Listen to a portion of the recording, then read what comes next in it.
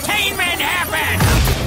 This is The Pothead Pick of the Day. Oh my god! I have no idea where this video is from, but apparently, wherever it is, they like to just hang out at gas stations.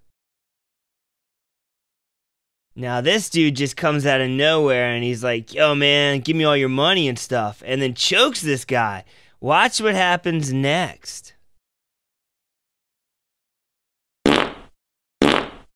Dude, got him with the fart gun.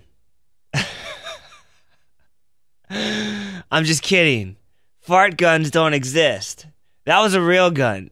that robber's probably dead.